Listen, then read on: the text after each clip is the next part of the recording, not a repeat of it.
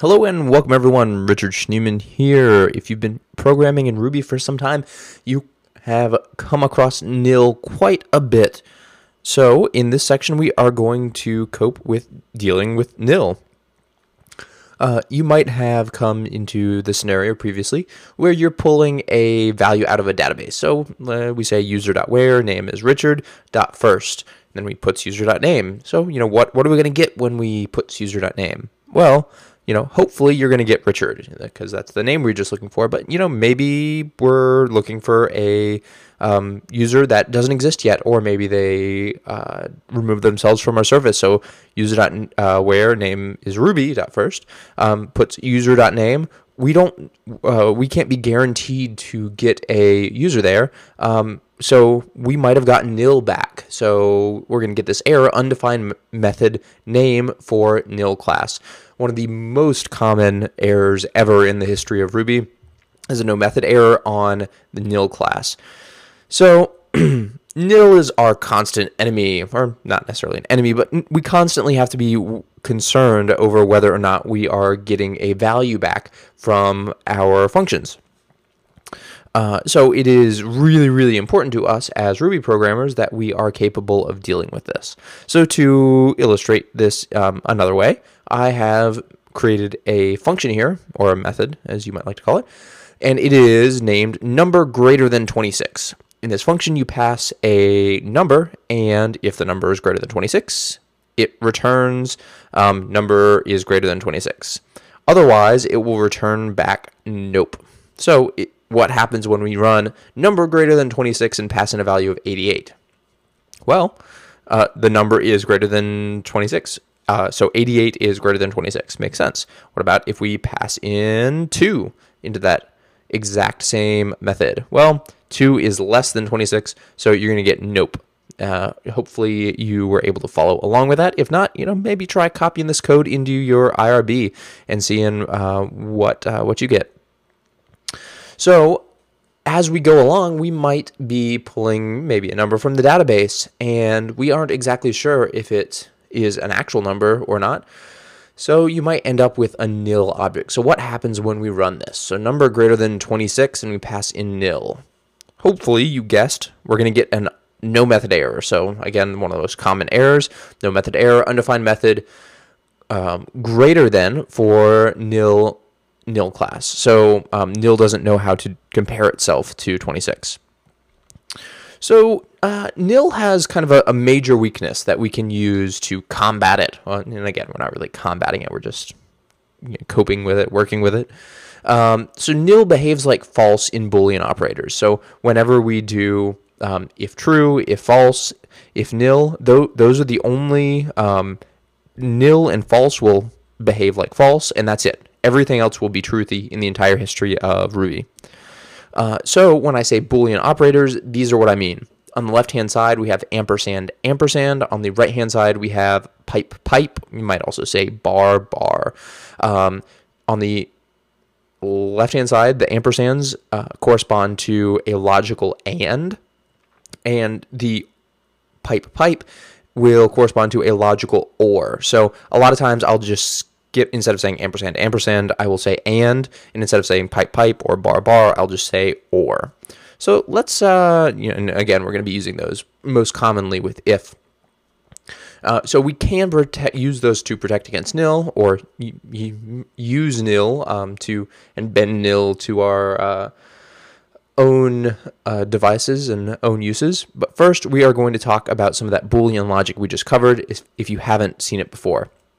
So um, we're going to talk about OR logic.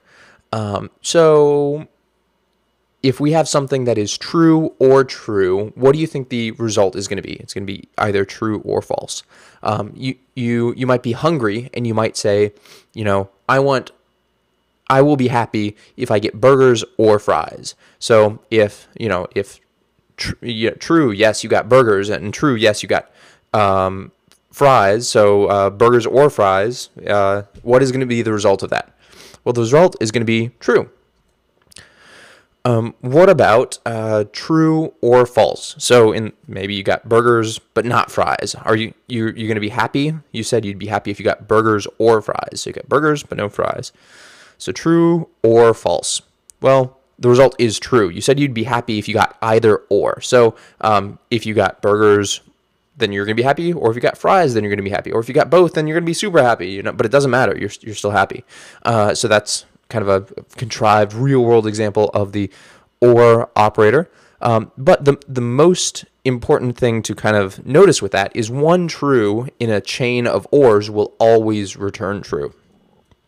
So if you say false or false or false or false or false or true, the answer is the result is always going to be true. It doesn't matter where that true is in that string of ors, but it's always going to be true. You might say, you know, I want uh, I want a red or green or blue or yellow or orange crayon. And if you get any one of those crayons, then you will be happy. So that that is true, and that is or in a nutshell. Uh, so we mentioned that nil behaves like false. So um, we can substitute false and nil um, most of the times in our, our Boolean operators. So nil or nil or nil or nil or true uh, will return true. So it doesn't matter how many nils, as long as if we're in a chain of ors, then we're always going to return true. So um, we'll just leave you with that little bit of mm, logic and uh, talk about and for just a second. So ampersand, ampersand, logical and. So if I say I'm only going to ha- be happy if I get burgers and fries. So if I, in the scenario, I got burgers and I got fries, am I going to be happy? Yes. So uh, that's true true and true is going to result in logical true. What about we say I want only be happy if I get burgers and fries, and it's true that I got burgers, but I didn't get any fries. So um, I'm only going to be happy burgers and fries. Well, you guessed it, false. Um, because I said I made the condition that and condition, both of those have to um, be satisfied in order for me to be happy. Maybe I'm feeling extra picky today.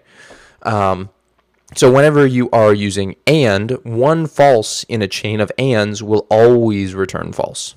So we can do true and true and true and true and true and false, and that's going to result in false. It doesn't matter where that false is. Um, you know, it you you are using and is almost kind of like uh, stating a demand. You know, um, we we want pizza for all the hostages and uh, Super Bowl tickets for everyone. I, you know, I don't know that you, the and is kind of a demand, just happens to rhyme. So um, because of this, Ruby will always return false the first time it runs into a false while evaluating a series of ands. Um, what? Okay, what does that mean? Well, let's take a look. So here's that exact same uh, syntax that we had before. We are going to have true and true and false and true and false. And so what Ruby is going to do, it's going to say, all right, we're going to check the first value. So hmm, this is true. It's, we need to check the next one and, and see if it's false or not. So that one's true. And it says, all right, well, all right, we're going to need to check the next one. So it goes to the next one and it says, whoa, you're false. And we just have a bunch of ands. So anything and false is always going to be false. So there's no way anything in, in this um, this chain could possibly change that. So we're going to just we're going to go ahead and return false. Um, and Ruby never ever needs to evaluate the rest of the those um, conditions because there's no way false and something can never be equal to true. It's kind of odd to say in just these abstract terms. Um, but yeah, there you go.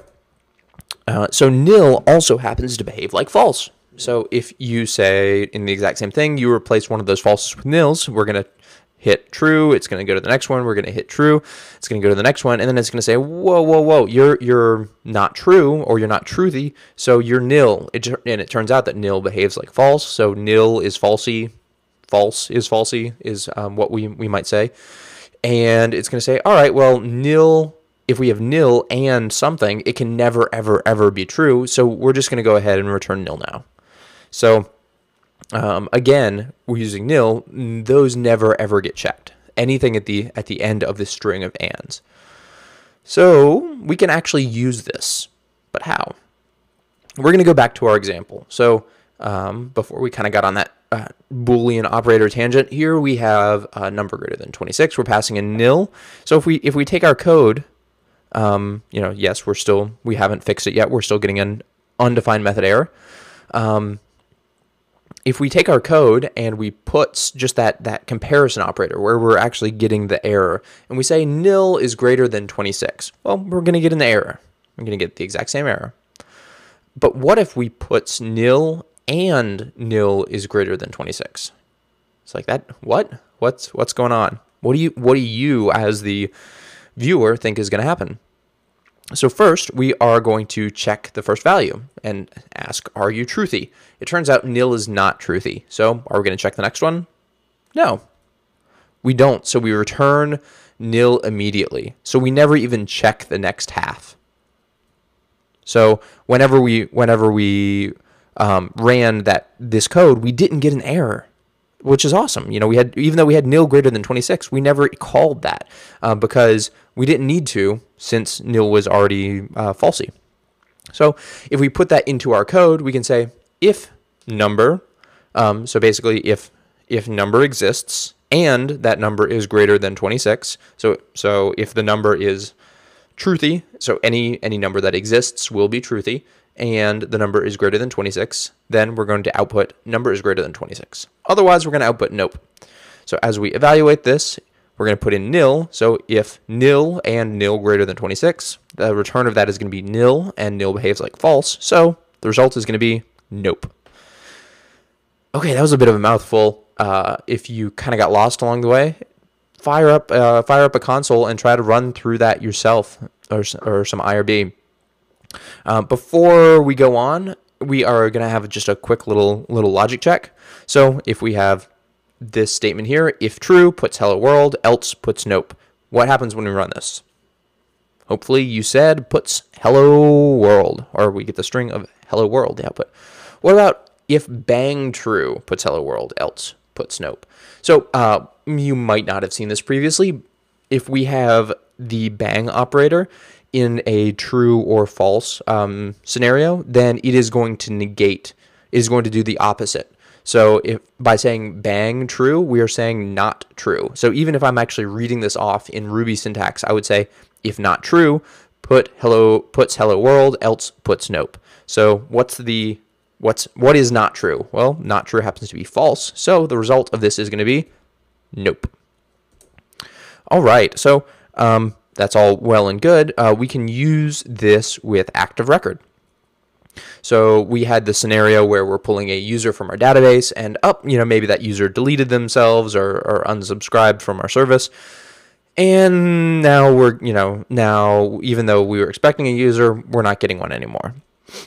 Um, so we can use that, uh, the the knowledge that um, a nil value is going to behave like false, we can use that to protect our uh, calling of user.name. So if user is truthy, so if user exists is kind of a, kind of another way to say that, uh, puts user.name. So as long as user is not nil, then we will put user.name. Uh, so uh, awesome! Congratulations, we did it. We uh, we circumvented the evil forces of nil. But can is there is there maybe a way we can check that a little bit more explicitly? So here we can say if not user.nil puts user.name. So basically, if the user is not nil, then we're going to put the user.name. That that makes a little bit more sense to me, a little bit more uh, semantic sense. And again, we're using the, the bang operator to negate. Um, so that covers nil, but sometimes we can pull arrays from the database and, you know, they might be empty. If we check dot .nil on them, then it'll say no because an empty array is, well, it's an empty array. It is something. It's not nothing. Nil is nothing. Uh, to check for this, we can find out if, um, our array is going to be empty. So here we have uh, user.where name is Richard, and we're not calling first, we're not calling last. So we here we have an array of users. So um, if not users.empty or if users.empty is if users is not empty, then we can run our code. and that will protect us from that uh, scenario. So you might find that a little confusing that we have two different operators for, for two different scenarios. Um, well, you will be happy to know that you can also just use blank if you're using Rails. So nil dot blank question mark is going to return true. Empty array dot uh, blank is going to return true. An empty string dot blank is going to return true. An empty hash dot blank is going to return true. If you put anything in any one of those and you call dot blank into it, it will return false. So here we have a string with hello there. Um, so that is going to return false because it is not blank. Um, and similarly, we can, instead of Oops, there we go. Instead of using dot nil question mark or dot empty question mark, we can just use dot blank, and that covers both of those scenarios. So you don't even have to think about um, what you're getting back from your from active record. All you all you would do is um, is is check explicitly if it's blank. So a little heads up blank is part of active support so you're not going to be able to use it unless you also have active support enabled um, and active support is part of rails so as you are just using uh, rails you will have access to blank but if you just fire up fired up an irb console right now then you would not have access to active support or that blank method so uh, not users.blank is still a little bit confusing. Can can we get rid of that bang? Uh, can we just say like users dot uh, something? Well, as a matter of fact, you can. You can say user.present or users.present, and this is this actually does the opposite of blank. So present is the opposite of blanks. We're saying that that it exists. Um, I love using blank and present whenever whenever possible. Um, even if I'm pretty sure something will be nil or something is going to be um, an, an, array. If I'm if I'm checking, I know I should check explicitly for for empty.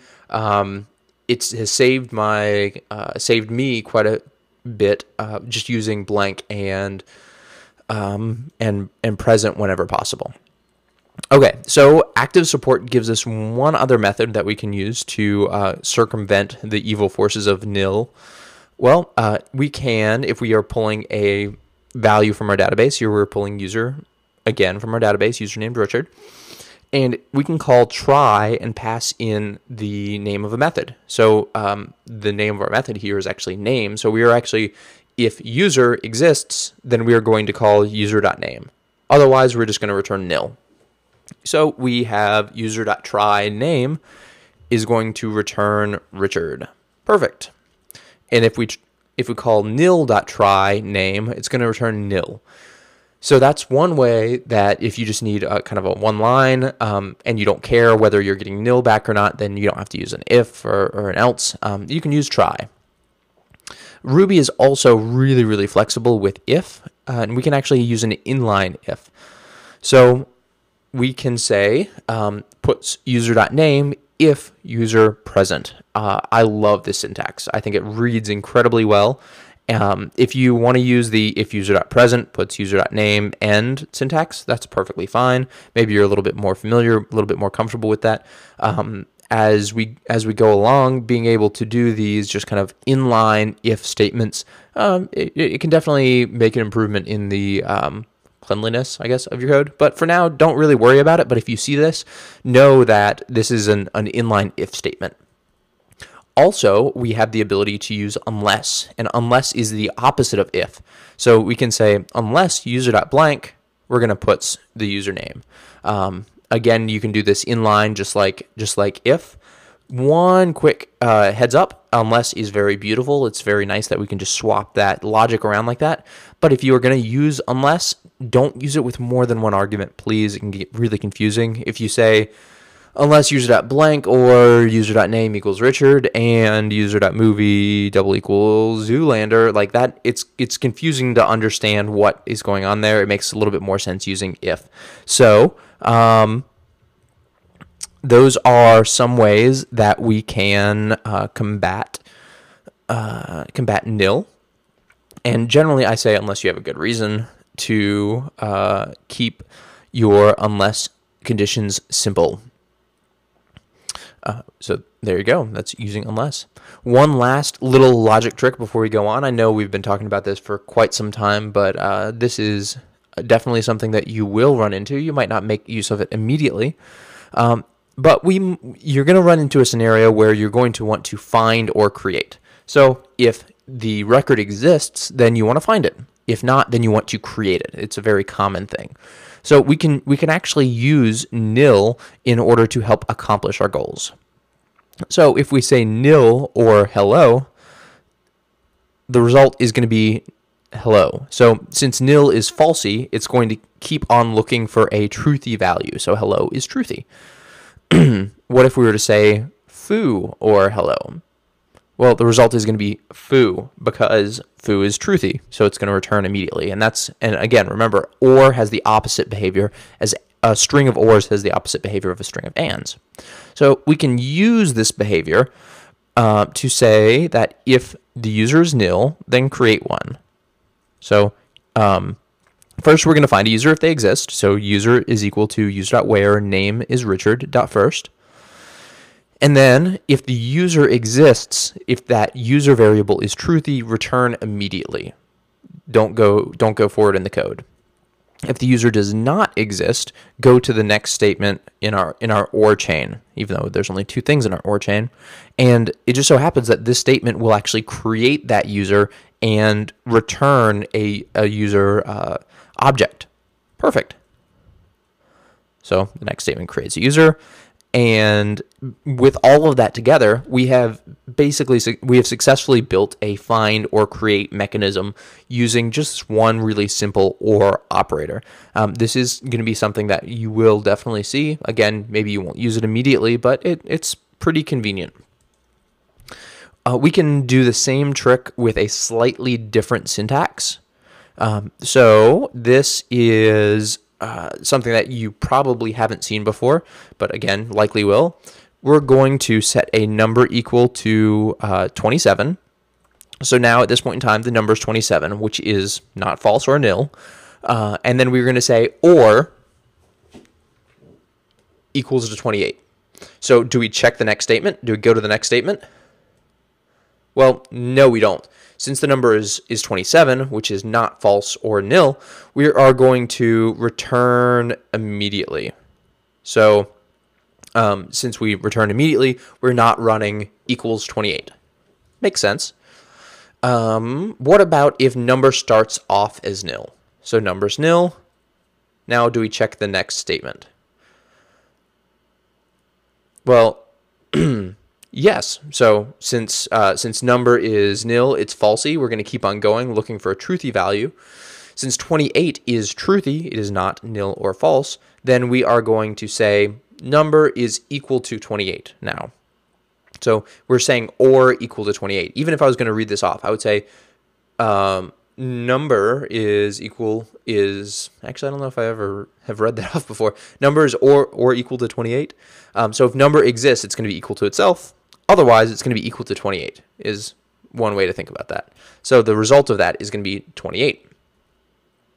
So on the top, if I say user is equal to user or user.create, that is the same thing as saying user or equal user.create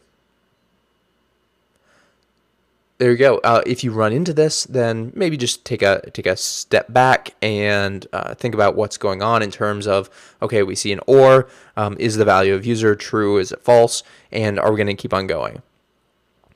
So I, to recap, we can deal with nil by using the and trick. Uh, so we can say something, you know, nil and the operator we, we want to use, or we can uh, just use if or we can also use the, the blank as well as present methods that Rails gives us. So we can use if and present. Um, or, you know, we can just be happy that we live in this wonderful, crazy, beautiful Ruby world and uh, use neat things like the or equals trick, uh, which I love uh, and, and use quite a bit. Uh, so in the next section, we are going to talk about modules. Hopefully, uh, didn't lose you too much talking about all those uh, ifs, elses, trues, and falses. Uh, but stay tuned, and you're gonna learn a little bit more about Ruby modules.